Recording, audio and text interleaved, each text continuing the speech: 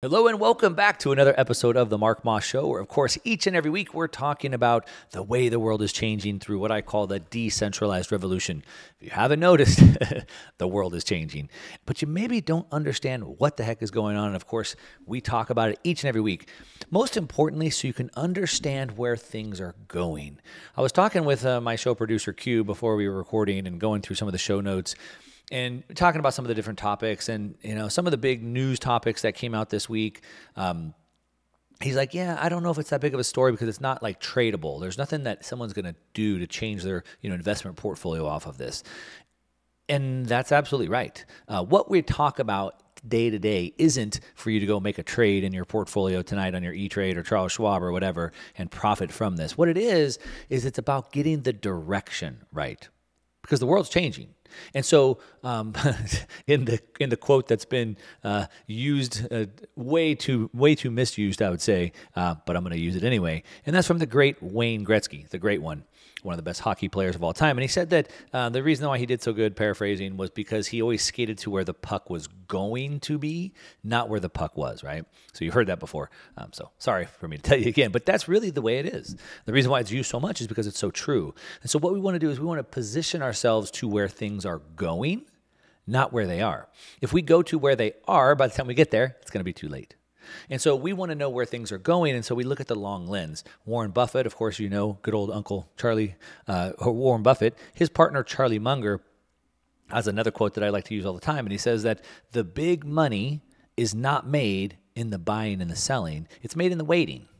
So you put those two things together. It's made in the waiting. Waiting for what? Waiting for the right opportunity waiting for that big fat pitch to come. But more importantly, when I get into that position, I have to also wait for it to develop. And so this is about the direction of where things are going so we know that we're aligned properly as they continue to materialize. So, in this hour, we're going to talk about the energy crisis and how the transition is causing the failure. How it's the transition that's causing the energy crisis to happen. We're going to talk about that. We're going to look at what the transitions are. We're going to look at this ESG, break that down, environmental, social governance. We're going to talk about moving from reliable to unreliable energy. We're going to talk about why these transitions fail. We're going to cover the origins, uh, the companies that are taking advantage of this, um, if there is any real progress, um, and so much more. This is a big show. Uh, I know I've talked about ESG a little bit in the past. We've never done this deep of a dive, and it's important for you to understand this because it is literally changing the world. Without energy, I mean, can't even say without energy. Without energy, the whole world's dead. I mean, we need energy. The law of energy states that energy cannot be created, energy can only be transferred. So, everything in life is about energy. For example, for you to live, your body must burn calories. A calorie is a unit, of, it's a measurement unit of energy, right? So, uh, the sun produces energy, it grows a plant, or uh, know, the, a cow eats the plant.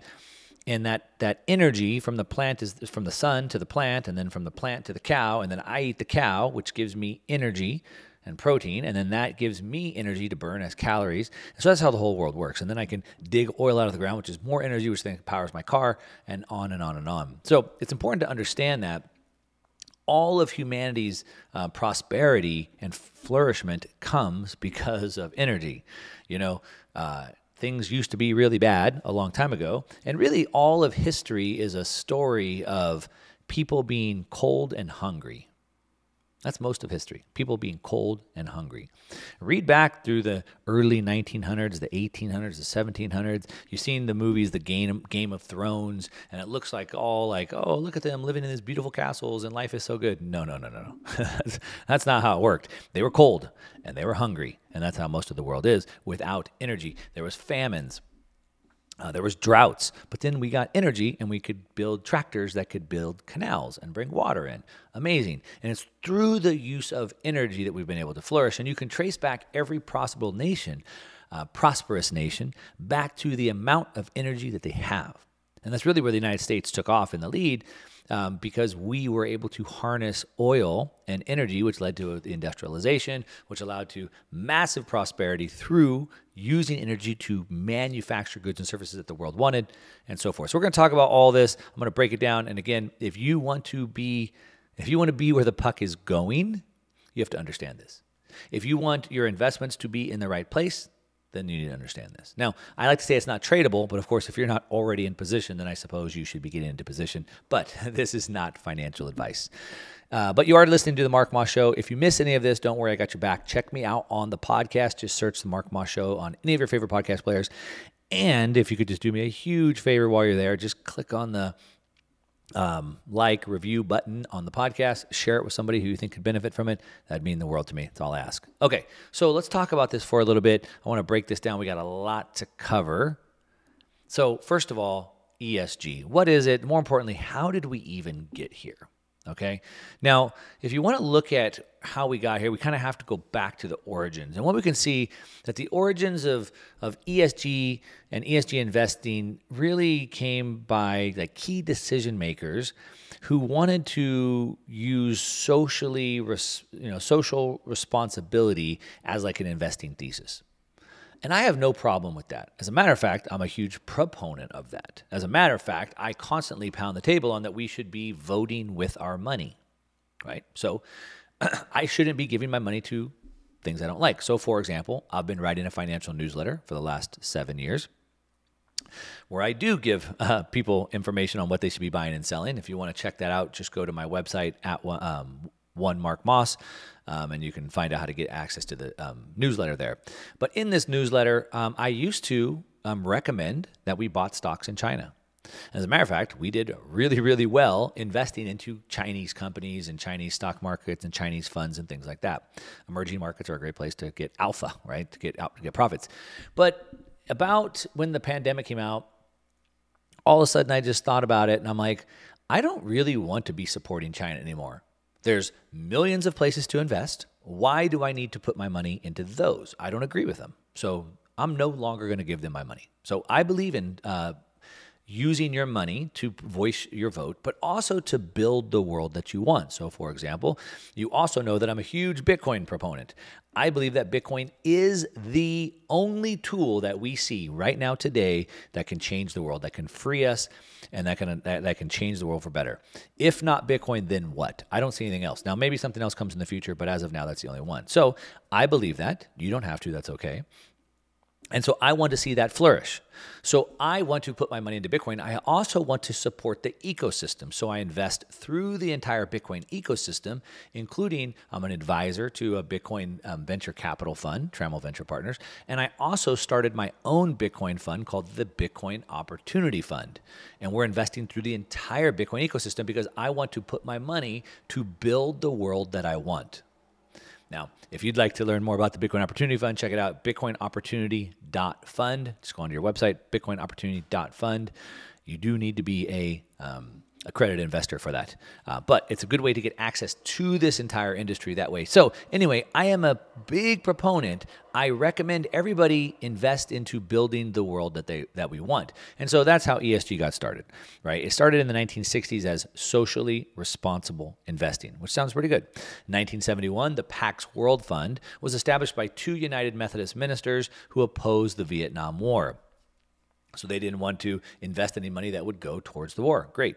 Uh, we saw Amy Domini, who managed KLD Research and Analytics. She created a Domini 400 index in 1990. You know, we can kind of go through this. Um, ESG largely came from a combination of national and international standards. One of the significant milestones was the United Nation Framework Convention on Climate Change in 1992. And this is where things really started to go a different direction. So the UN pushing them in 1992. And this is where I start to diverge from their idea of investing socially and my idea of investing socially. I'm going to talk about that in a second. If you're just tuning in right now, you're listening to the Mark Moss Show. Of course, we're always talking about this decentralized revolution. I'm going to break this down so you know where we're going. But one of the best ways to protect yourself for over 5,000 years, I like to call it a chaos hedge. Hedge myself against the chaos has always been with gold. It's it's been money for 5,000 years and it will probably continue to be some form of reserve asset or store of money. And one of the best ways that I've found to get gold, what I do is I use a company called Universal Coin and Bullion. Um, they have really low prices on popular silver and gold bullion, which is important. But more importantly, I trust them because I've worked with Mike Fuljenz, the the the president of the company. He wrote the consumer alert on gold coins for the Texas Attorney General And so you know that he can be trusted. And like I said, they have great prices. And he has a very special offer for my listeners. He's going to give you a one ounce gold American Eagle coin. It's the most popular gold bullion coin in the world at his dealer cost. And he's even going to ship it to you free. But he'll also throw in his 30 page national award winning gold guide absolutely free if you mention me, Mark Moss. Give him a call, 1 800 UCB Gold. Again, 1 800 UCB Gold or go online to universalcoin.com slash Mark Moss. Again, universalcoin.com slash Mark Moss. We can go back and we can see all types of examples through history where people formed groups. So, like there was one, the Women's Christian Temperance Unit uh, Union, WCTU, founded in 1874, and they promoted investing into things that they shared ideology. So, for example, um, they didn't invest into companies that produced alcohol or tobacco. Great. If you don't like alcohol, tobacco, you don't want people to have it, then don't invest into it. That's fine. Um, the company didn't want to invest into any companies that would exploit its workers or engage in unethical business practices. Great. Don't do that if you don't want to. I think that that is a good thing. But these were like a really like OG, you know, old school um, in socially responsible investing group, and that's okay. But um, going back to ESG for a second, like I said, it was introduced by the UN, and we saw it really become officially introduced in 2006, again by the UN, in their Principles for Responsible Investment Report, PRI. And basically, the ESG criteria were required to be incorporated in the financial evaluations of companies. And so, what that means is that they now had a set of metrics that they could regulate companies by. So, we could say, hey, we're going to look at you, company, by all these metrics. And if you don't fit into them, then maybe there's no money for you. So, we're going to talk about this. It's really turned from cooperation and um, from preference to now coercion. And that's where things fall off the rails. Now, um, I want to talk about again, I think this is a good thing. We should be investing into things that we believe.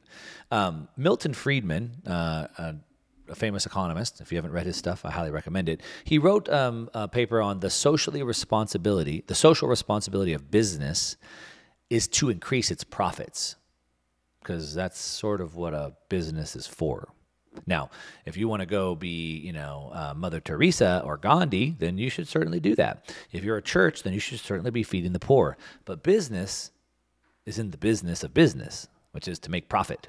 And it's the socially responsible thing to do. And what he says, and I'm going to paraphrase this, and I highly recommend you to go read it, but he basically says that through the pursuit of profit, you chase the most socially responsible goals. So let me give you an example. Um, there's a local high school here by my studio. I drive by it every morning on my way to the gym. And on the fences of the of like the baseball field are like signs and, and the whole school are signs of all the local businesses, local real estate agents, local dentists, orthodontics, whatever, right? Why do they give money to the school to have their sign there? Why do they want to have their sign there? Well, they hope it brings them business. So through the pursuit of profit, they're acting socially right? They're giving money to a good cause in returns of hopefully getting a profit back. Now, let me just say, I also believe that we should all be giving money charitably. This is a really big problem that I want to dive into just for a second. Um, I was recently on an airplane um, sitting in first class, um, sitting next to another guy who looked like he. I, I kind of glanced over at his work, and I could tell he was working on some like high level management stuff. And so I kind of struck up a conversation with him, which I don't always do. Um, and we start then we start getting into like uh, business stuff, and then we start getting into like investing, and then we start getting into like social political things. And you know, he really thought that you know the government needs to continue to tax us so much so that they, the government, they after they tax us, can go do all these welfare programs and things like this. And I just said, hey, let, let me ask you a personal question. I'm sorry if it's too personal, but um, how much of your income do you give to charity? Do you, do you donate? Do you, do you go on mission trips with your kids and help um, poor people? And they said, no, we don't do any of that. And I said, yeah, I, I, I figured. And, and the reason why is because because you don't give, then you feel that nobody else will give. And so the only way that those poor people get anything is if the government steals it from us and then redistributes it. But you see, I give a big chunk of what I earn. And so I don't see it that way. I see people all around me giving. As a matter of fact, I just got back from my 15th annual dirt bike trip we do called the Baja Beach Bash.com. Check it out where we raise money for an orphanage down in Mexico. This year, in 2023, in July, we raised about $400,000, me and my buddies, for this orphanage. We've raised over $2.2 million for them since we've done that. This is just one thing. And I'm not here to brag. What I'm saying is that we should all be doing this. That's the socially responsible thing to do. All right, now going back to this. So, this ESG thing, it really went off the rails because of the UN. And the UN tried to co opt this and then use it for coercion. So, how did they do that? Well, they established these principles, these ESG principles, um, and they basically got 63 investment companies with about $6.5 trillion in assets under management to come on board with them. And these the these companies that controlled six and a half trillion dollars, they got them to basically agree that if these companies don't adhere to these arbitrary things that we've um, put together, then they get no money. As Mark Carney says, there'll be economic roadkill. So who are they? Well, Amy Domini, we mentioned her name before. Brian Moynihan, he's the CEO of Bank America. Now, what's important to understand is that, of course, Bank of America Brian Moynihan, the CEO, alongside the big four accounting firms. So you always hear reference to the big four Deloitte, PwC, KPMG, and Ernst & Young. So if you're a, a, publicly traded company or you're a big uh, Fortune 500 company, you need to use a big four accounting firm. So with Bank of America and the big four, um, they accelerated this ESG transformation through the establishment of a set of standardized measurements of 22 specific metrics to create a framework for companies to report their results. And if the results are favorable, they get funding. If the reports are unfavorable, then they get no funding, no money for you, like the soup Nazi. All right, so that's sort of how this happened. Then we saw other institutions, institutional investors um, grab onto this. Of course, we talk about BlackRock doing this all the time, State Street Global Advisors, of course, as well, um, and on and on and on. And so this is a really big thing. This is how they've been uh, they've been tackling this. Now we can see that a 2022 report by the Global Sustainable Investment Alliance found that global ESG assets under management reached 35.3 trillion in 2021, up from 22.9 trillion in 20, 2016. So we can see that these investment groups are moving into this and putting money into anything that could be deemed ESG. But does that change the incentive, incentive structure? Just because they say they're ESG, are they really? How are they reporting this? Well, we're going to dig into that. We're going to dig into that. We're going to talk about the problems that this has created, the crisis that we're literally in because of this, and where this goes.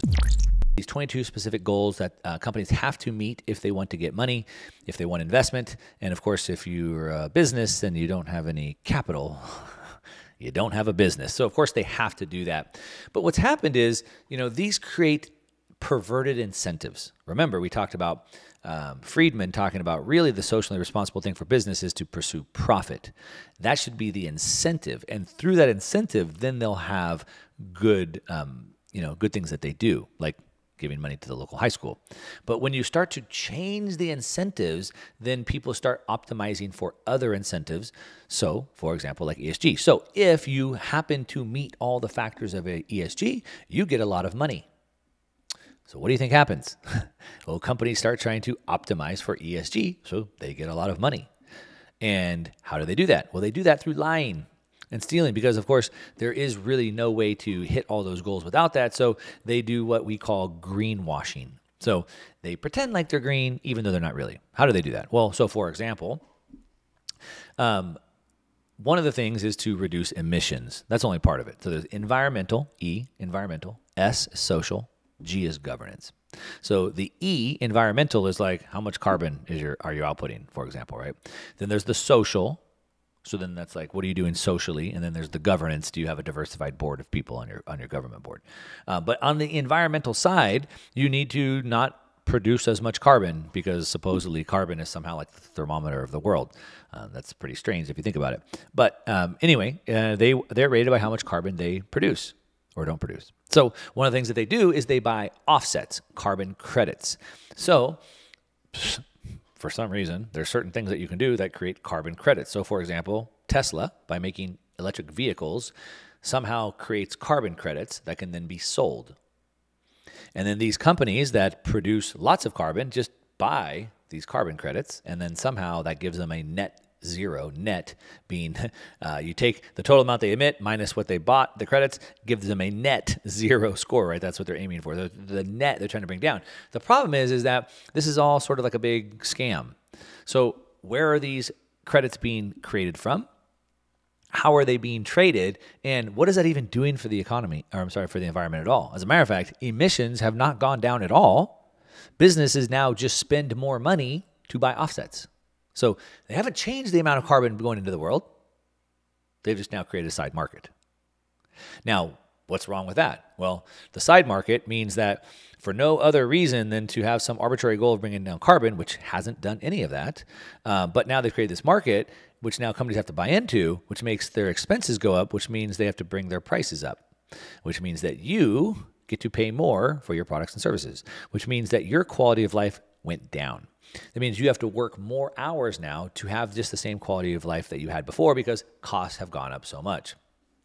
That's one example. We can see report after report after report how it's plagued by fraud. A 2021 report by the Carbon Market Watch found that the carbon credit market is plagued by all kinds of fraud. There's double counting, there's wash trading, there's greenwashing, as I said. Greenwashing is when a company makes false or misleading claims about its environmental credentials in order to sell carbon credits.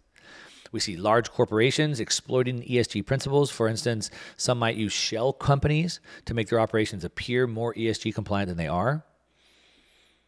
And this isn't just like some theory. We see this over and over and over and over. As a matter of fact, a 2021 report by the Environmental Investigation Agency found that several large corporations were using shell, corpora- shell companies to avoid environmental regulations. Saudi Aramco one of the largest companies in the entire world, has done this with a $28 billion worth of funds. So this is what this is what's happening. When you create a perverse set of incentives, then you get perverse actions. Now, to take advantage of this, of course, the big evil empire, the largest asset manager in the world, BlackRock, has jumped into the mix and they started creating ESG funds. So now we're going to create these ES ETFs that have all these ESG companies in there so we can in, in, uh, raise investment capital directly into this ESG fund. But turns out when you invest money, you're trying to get money back. So if I'm investing money, I want it to go to the companies that have the best chance of returning my capital, unless it's a donation. Like I said, invest in things that you want. So I give my money to things that maybe I don't expect the best return from just because that's where I want my money going. But for the most part, if you're investing your money, you're trying to get the best return possible. And turns out when you run a business based off of their ESG scores, and they're not optimizing for profit, well, turns out they don't have the best profit. So turns out they don't do very well. And as a matter of fact, ES, I'm sorry, BlackRock had to close their ESG fund because of a lack of interest. Why? Because it had poor performance. So you look at all the funds that BlackRock has, uh, and the ones that have the worst performance, you don't want to invest into them. And of course, that's the ESG because they weren't optimizing for profits. Um, and so, you know, there's other parts of it. So then there's the social side, which then kind of led to this DEI, diversity, equity, and inclusion. So it's sort of like virtue signaling. This is what's led to a lot of the Dylan Mulvaney, Mulvaney, you know, Budweiser controversy, things like that, because they're trying to now optimize for that, for this DEI, diversity, equity, and inclusion.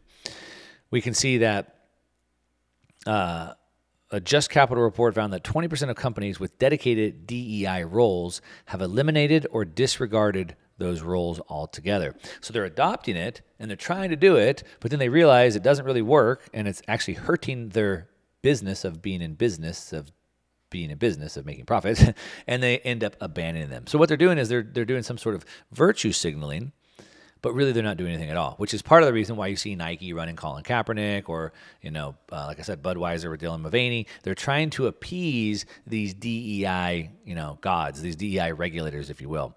But it's a bigger problem than that. So ESG is actually causing, as we started out talking about, an actual crisis. So what do I mean by that? Well, the biggest thing, the E in ESG is environmental. And supposedly, the goal is to bring carbon down. And the number one enemy, uh, according to them, is now energy, specifically fossil fuel energy, which is oil and gas, oil and natural gas. Now, it's funny because Do you know what? Do you know what fossil fuel is? Fossil. It comes from fossils, so it makes you think like some bad connotations. Well, fossil fuel, and I'm not a geologist, so uh, if you are, go ahead and leave me comments and tell me if I get this wrong. But um, fossil fuel come from fossils, which are actually old plants that are in layers of the earth that have been carbonized and have turned into oil and gas. And so we harvest those out. So it's sort of like uh, environmental, sort of like renewable. But what they've done is they, they've now labeled those to be bad, and so now we have to go to wind and solar. Um, what they call renewable, which is pretty weird because uh, solar panels and windmills last about 20 years. They're not renewable at all; they're consumable. Uh, but anyway, um, they went. They want to go to these renewables. So, like in Germany, for example, because of these ESG metrics, they want to transition their energy into green. So they want to have wind and solar, and so they've started to shut down their energy, including their nuclear reactors.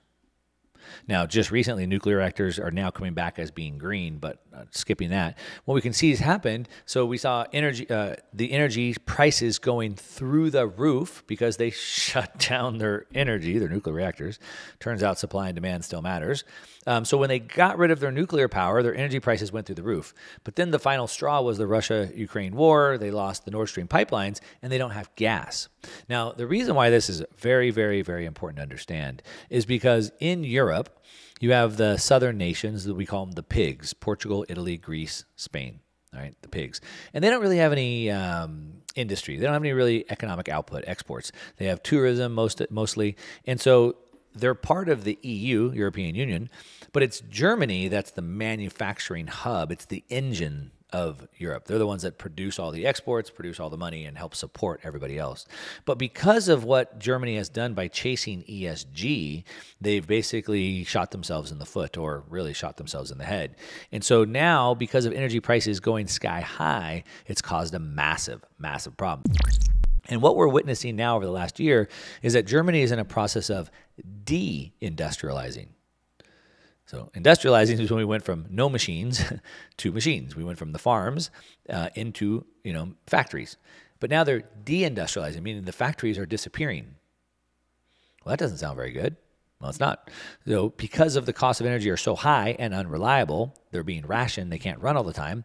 Manufacturing companies have had to leave Germany.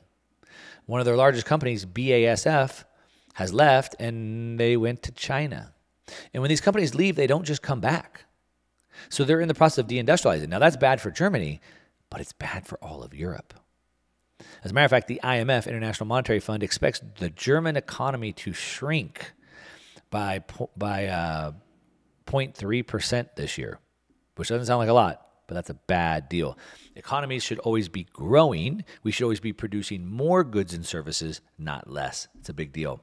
Now, if that sounds bad, I want to jump to another story about South Africa. South Africa is in a world of hurt, and you won't even believe it. Um, they've been struggling with power shortages for years because, again, yes, they need to be more environmentally conscious and they need to shut down their cheap, reliable, abundant energy sources and transition to very expensive, costly, and unreliable energy sources. For the E, you know, the ESG, we got to do it, right? So in South Africa, um, they have been deteriorating for a long time. There's massive economic turmoil and social unrest that's happening right now. It's looming ahead of the elections that are coming next year. And it's getting really bad. Uh, not only is it bad because of the transition, it's also hampered by massive amounts of debt, corruption, and yes, of course, sabotage. So they're trying to figure this out. They want to escape their dependence on coal, cheap, abundant energy, and move to, as I said, uh, unreliable, um, you know, uh, renewables, unreliables. So now they've been um, rash since 2007. Eskom, which is their power company, has been forced to ration power through intentional blackouts, known as something called load shedding. And we have the same thing in Southern California for the exact same reasons. California has to also do load shedding because we can't produce enough energy for everybody. But in South Africa, it's way worse. As a matter of fact, um, they've been shutting off the power for up to 12 hours per day. And now they're predicting that they're going to take the power outages up to 16 hours per day, no energy. Now, what would happen if you shut the power off for 16 hours a day? Well, it turns out you don't have a lot of economic activity. The power instability is so widespread that they don't they have very very very limited hospital services. Turns out if you go in the hospital, you probably need machines hooked to electricity and it probably needs to be 24/7. Uh, 16 hours a day if blackouts probably doesn't work. So very limited hospital services. Oh, your kid was born premature, needs to go in an incubator. Sorry, no electricity for you. Oh, you had a heart attack, you need to be on a heart monitor. Up, oh, sorry, no electricity for you. You get the idea. We have increasing food and water scarcity, rising bankruptcies, worsening crime rates, unemployment exceeding 30%. And South Africa's central bank warns that load shedding is going to cost the economy nearly 13 billion this year. So uh, that's what ESG gets you. Good job. The coal sector, which is what they're trying to get rid of, employs uh, indirectly up to 2.3 million people. So at a time when they already have unemployment exceeding 30%, they want to go ahead and just shed jobs for another 2.3 million people. Sounds really good. South Africa is on a course to see its most blackout days in history this year. Wow. So um, again, this is the same thing that's happening in California. It's not a big. It's, it's, it's not. It's nothing new. So this is where ESG gets you. You invest into companies who are not trying their best to produce profits. So they've gotten away with this because BlackRock, State Street, Vanguard, they don't care about profits. Why don't they care about profits? Because it's not their money. Well, whose money is it? Well, it's your money. When your pension, when your 401k, when your mutual fund goes into their management, BlackRock, State Street, or Vanguard manages almost you know the majority of that. They are investing your money, and it's not their money, and they make money regardless. So what do they care if the companies underperform other companies? They would rather push an ideology. This is why when people say, um, BlackRock. Uh, I'm sorry. That's why people say like uh, with Bud Bud Light, you know, they they screwed up. Hit them where it hurts. Go woke. Go broke. We're gonna we're gonna we're gonna boycott them. Well, they don't really care. And the reason why they don't really care is because they've been taken over by these big in- institutional investors who don't invest their own money; they invest your money. And they're more. What they care about more is their ideology over profit. And again, that's not a bad thing. We should be investing our money where we see fit. The problem is when you have corporations like BlackRock, Wall Street, um, Vanguard, and State Street doing it with other people's money. That's the problem. That's the, where I have a problem. You should certainly invest your money where you see fit. And if you lose your money, that's on you. But when you have these institutions taking your money and investing in a way that doesn't align with your visions and on top of them, not only are they investing against your, your vision, your ideologies, and the world that you want, they're not only going against that, they're also losing you money at the same time. That's a problem. That's a big problem. Now, um, this is a big deal for a lot of reasons. Obviously, one, we know it doesn't work. Going back to what um, Friedman said, really the social responsible thing is to chase profits. Because if you think about it, that drives everything. So, for example, Patagonia um, is a massive, you know, clothing manufacturer, make really, really high end jackets and, and, things like that. I'm sure you heard of them. Um, their whole mission is that they make, you know, sustainable products. They give money back to the environment and things like that. So if I care about that and they want to make profit, then they do those things and we support them. So through their pursuit of profit, they are then doing the social responsible thing. If there's two companies, one company wants to dump, you know, hazardous waste into the desert, and the other company wants to recycle and make sure that the hazardous waste doesn't go into the environment, well then we would as consumers, most likely we would support the company that's not turning my hometown into a hazardous wasteland. So I would support the one that doesn't. And so through their pursuit of profit, hoping that I give them business, they do the socially responsible thing. The problem is when the incentives get perverted.